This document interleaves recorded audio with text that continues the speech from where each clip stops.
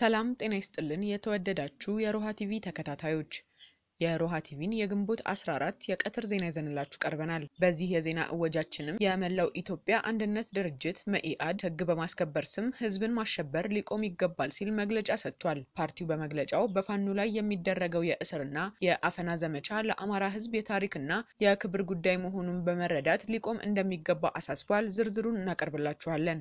በአዲስ አበባ ከተማ መርካቶ አካባቢ ምናለሽ ተራ ተብሎ በሚጠራው ቦታ እሳት አደጋ ተከስቷል። በአደጋው የንብረት ውድመት ያጋጠመ ቢሆንም ምን ያህል መጠን እንደሆነ እስካሁን የተረጋገጠ ነገር የለም። እንዲሁም የመንግስት ኮሚኒኬሽን ቢሮ ህወሓት ምርኮኞችን ለቅቅ ያለው ማለቱ ማደናገሪያ ነው ሲል ገልጿል። ይህን ያለው የዓለም አቀፉን ማህበረሰብ ትኩረት ለመሳብና ያለውን የሀገር አፍራሽ ገጽታ ለመሸፈን እንደሆነ መግለጫው አካቷል። ይህንን ጨምሮ ሌሎች መረጃዎችን ይዘናል። አብራችሁን ቆዩ። መኢአድ ህግ በማስከበር ስም ህዝብን ማሸበር ሊቆም ይገባል ሲል መንግስትን አስጠነቀቀ። የመላው ኢትዮጵያ አንድነት ድርጅት መኢአድ ከሰሞኑ መንግስት ህግ ማስከበር በሚል በአማራ ክልል የተለያዩ ከተሞች ህዝብን የማሸበር ተግባር ላይ ተሰማርቷል ሲል በጉዳዩ ላይ ባወጣው መግለጫ አውግዟል። ፓርቲው በመግለጫው ከህወሓት ውድቀት ያልተማረው የህወሓት የመንፈስ ወራሽ ልጅ ያለው የብልጽግና ስርዓት በአሁኑ ወቅት በአማራ ህዝብና የአማራ ተቆርቋሪ በሆኑ የአማራ የቁርጥ ቀን ልጆች ላይ እየፈጸመ ያለውን አፈና በጽኑ እንደሚያወግዝ አስታውቋል።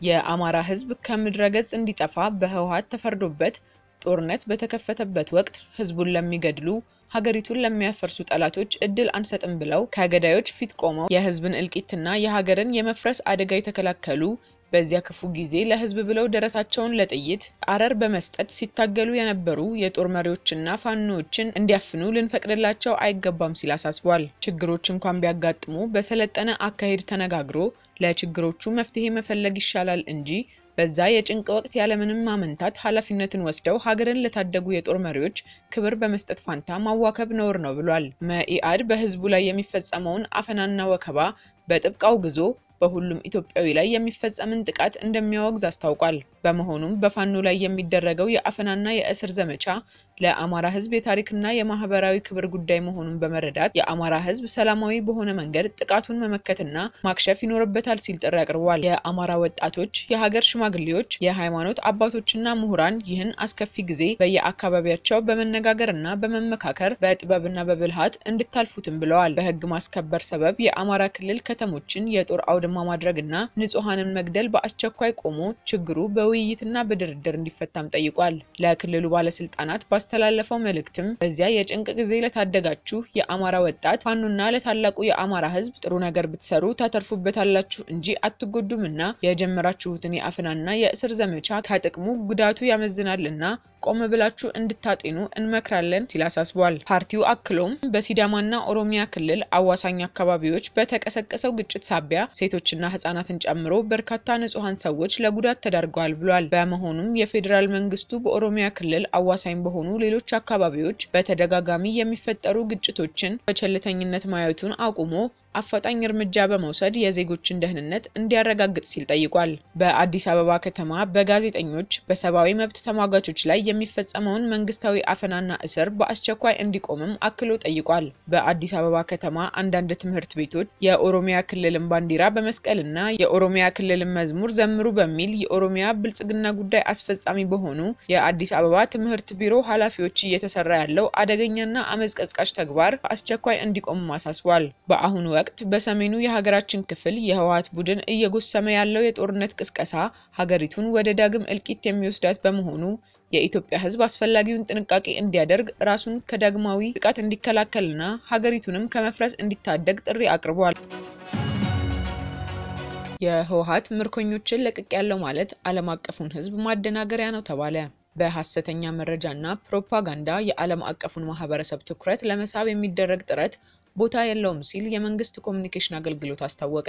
ታጣቂው የህወሓት ቡድን በሐሰት ፕሮፓጋንዳ አሰልፎት የነበረው ድጋፍ መቀዛቀዙን ተከትሎ የዓለም አቀፉን ማህበረሰብ ልብ ገዛበታለሁ ያለውን የምርኮኞችን መፈታት አጀንዳ ለማድረግ እየሞከረ ነው ሲል መግለጫው አስፍሯል። የወራሪነት የአጥፊነትና የሀገር አፍራሽ ትክክለኛ ገጽታውን ለመሸፈንና ሰላም ፈላጊ መስሎ ለመቅረብ የሚደረገው መፍጨርጨር ይህ ምርኮኞችን ለቀኩ የሚለው የሐሰት ትርክቱ ነው በማለት ከእውነት ተባባሪ ኃይሎችን እያሰለፈ ከእውነት የራቁ መረጃዎችን በማቀነባበርና ተባባሪ ኃይሎችን እያሰለፈ የሴራው አካል ሲያደርግ መቆየቱ የሚታወስ ነው ተብሏል። የህወሓት ታጣቂ ቡድን የአማራና አፋር አካባቢዎችን በኃይል ወረራ ስር አድርጎ በቆየባቸው ወቅቶች በግዳጅ ይዞ ኢሰብአዊ ተግባራትን ሲፈጽምባቸው የነበሩ ሰዎችንና ለራሱ ፕሮፓጋንዳ ፍጆታ ለማዋል ምርኮኛ በማለት የሀገር ውስጥም ሆነ ዓለም አቀፉን ማህበረሰብ ለማጭበርበር የተደረገ መሆኑም ተጠቁሟል። መንግስት ጉዳዩን አስመልክቶ እያደረገ ባለው ማጣራት በሽብር ቡድኑ ምርኮኞች ናቸው ተብለው የተለቀቁት አብዛኞቹ ዜጎች የመከላከያ ሰራዊት ከትግራይ ክልል ለቆ በወጣበት ወቅት በሽብር ቡድኑ ታግተው የቆዩ የሰራዊቱ ቤተሰብ አባላት መሆናቸው መታወቁንም መግለጫው አካቷል።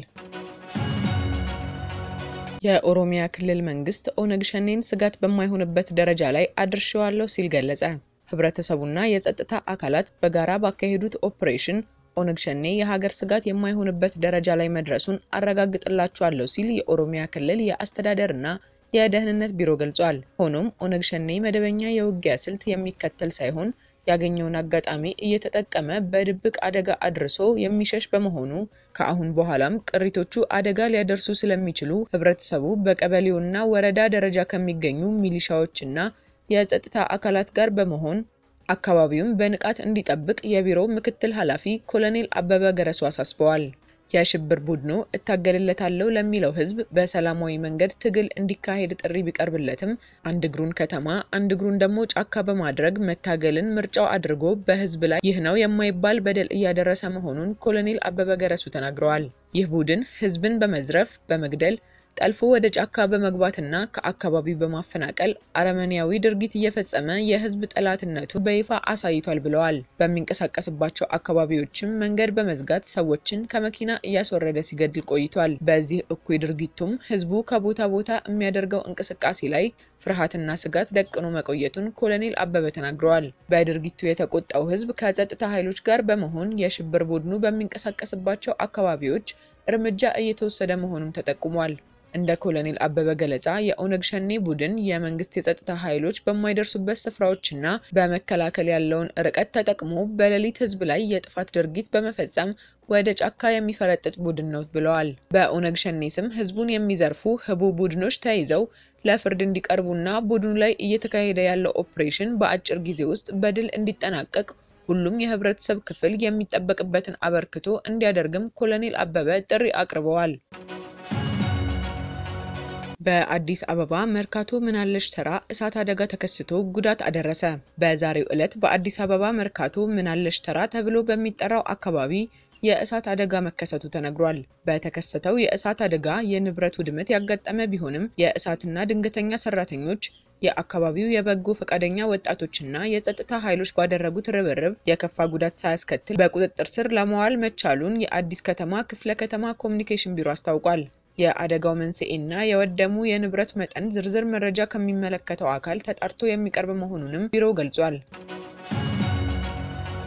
ፊልድ ማርሻል ብርሃኑ ጁላ ለአምባሳደርና ጀነራሎች የአብረን እንስራ ጥያቄ አቀረቡ። ፊልድ ማርሻሉ ይህን ያሉት ለአምባሳደር ጀነራል ባጫ ደበሌና ለአምባሳደር ጀነራል ሐሰን ኢብራሂም የምስጋናና የሽኝት ስነ ስርዓት በተካሄደበት ወቅት ነው። የመከላከያ ጠቅላይ ኢታማዦር ሹም ፊልድ ማርሻል ብርሃኑ ጁላ ሁለቱ አምባሳደር ጄኔራሎች ከለውጥ በፊትና ከለውጥ በኋላ የነበራቸው አገራዊ አበርክቶ አይተኬ እንደነበር አስታውሰው እንደ ተቋምም እንደ ሀገርም በነበሩ ውጣ ውረዶች በጋራ በመስራት ስኬታማ ቆይታ እንደነበራቸው ገልጸዋል። በዚህም በአምባሳደርነት የተሾሙት ሁለቱ ጄኔራል መኮንኖች ለተቋማዊ ለውጡ ድርሻ ነበራቸው ሲሉም ተናግረዋል።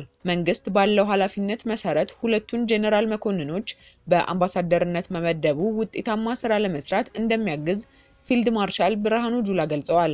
በቀጣይም ከአምባሳደር ጄኔራሎቹ ጋር በትብብር እንደሚሰሩ እምነታቸው መሆኑን ገልጸው መልካም የስራ ዘመን እንዲሆንላቸው የመልካም ምኞት መልእክታቸውን አስተላልፈዋል። አምባሳደር ጄኔራል ባጫ ደበሌ ተቋሙ ከዚህ በፊት መደበኛና ፕሮፌሽናል ሰራዊት ግንባታ ስራን በትክክል መስራት ባለመቻሉ በሰሜን እዝ ላይ የክህደት ተግባር ሊፈጸም እንደቻለ አስታውሰው በቀጣይም እንደ ተቋም በመደበኛና በፕሮፌሽናል ሰራዊት መገንባት ላይ በትኩረት ሊሰራ ይገባል ብለዋል።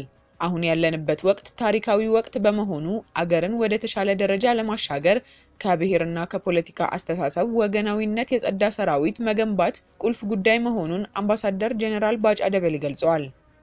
አምባሳደር ጀኔራል ሐሰን ኢብራሂም በበኩላቸው ከለውጥ በፊት የተሳካ የዘመናዊ ሰራዊት ግንባታ ሂደቱ ላይ እምብዛም ውጤት ማስመዝገብ እንዳልተቻለ አስታውሰው በለውጥ ማግስት በውጣ ውረድ ውስጥ በመሆን የተሰሩ ስራዎች ግን ስኬታማ እንደሆኑ ተናግረዋል።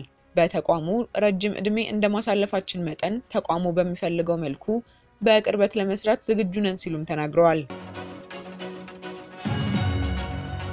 መምህርትና ጋዜጠኛ መስከረም አበራ በሶስተኛ ፖሊስ ጣቢያ እንደታሰረች ባለቤቷ አረጋገጠ።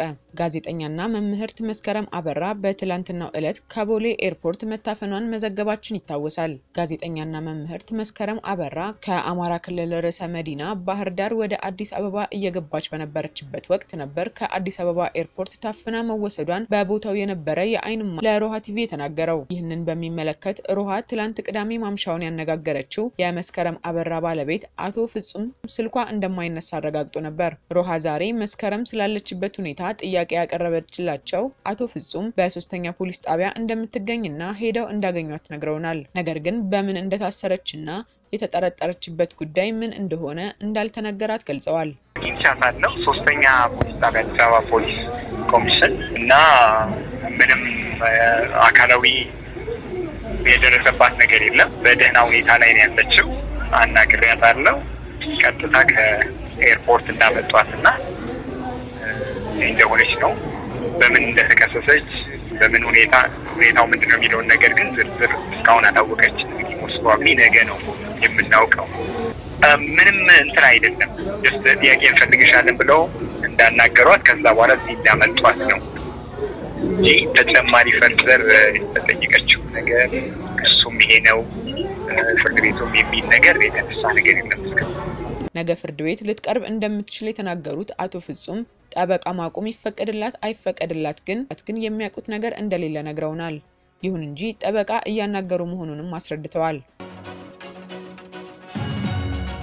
ተመልካቾቻችን ከሮሃ ቴሌቪዥን የያዝንላችሁ የቀትር ዜና የተከታተላችሁትን ይመስል ነበር።